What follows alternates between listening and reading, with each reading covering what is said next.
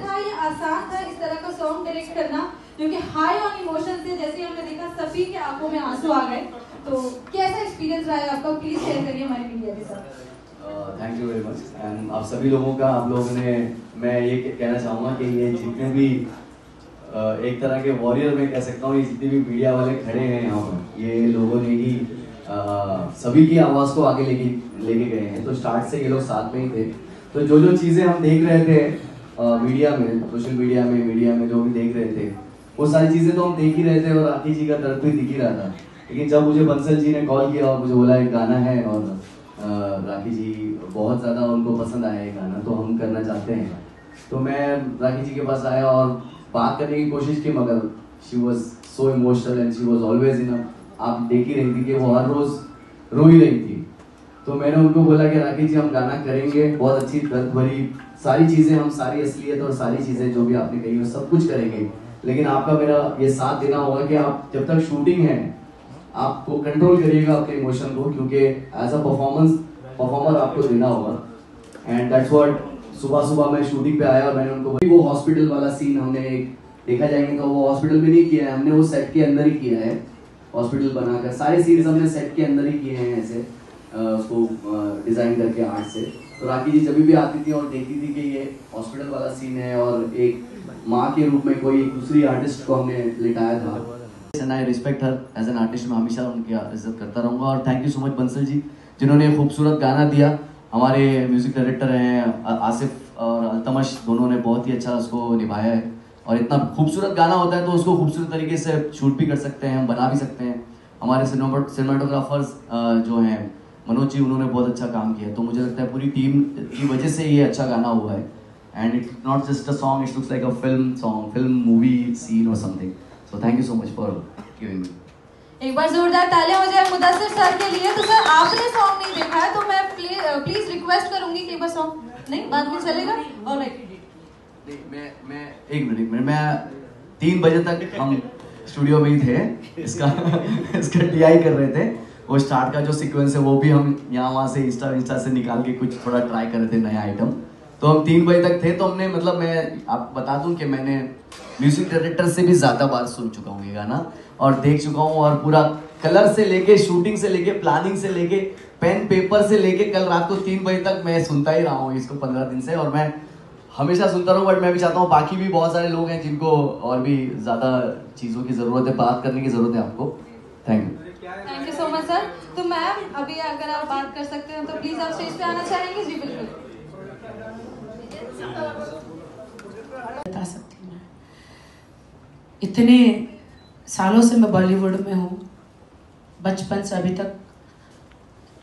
जितना दर्द दुख मैंने मुझे नहीं मिला हालाँकि इतना बॉलीवुड में स्ट्रगल करने के बाद भी उतना दर्द नहीं मिला। ये एक साल में आ, मुझे मिल गया। झूठा। बिल्कुल टाइटल जो है बिल्कुल सही है क्योंकि जो शख्स मेरी ज़िंदगी में आया जिन्होंने सलमान ने जो उसका उनका किरदार प्ले किया उन्होंने उनकी जो झूठ की बुनियाद से पूरा शुरू हुआ। जब इंसान को प्यार होता है तो पता बिल्कुल नहीं चलता कि इनके मन में क्या चल रहा है। क्या ये सचमुच प्यार है इनका या ये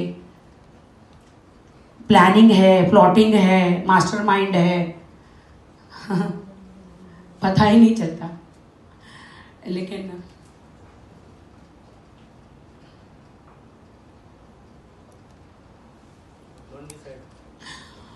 मैम हम सब आपके साथ हैं? और नहीं